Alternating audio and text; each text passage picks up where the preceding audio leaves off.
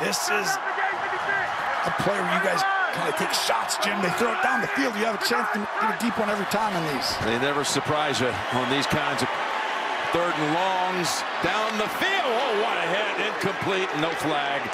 Even on the hit. That was Marcus Williams who came over and pummeled Hardman. And Mahomes is saying, wait a minute. That was to the head area, wasn't it?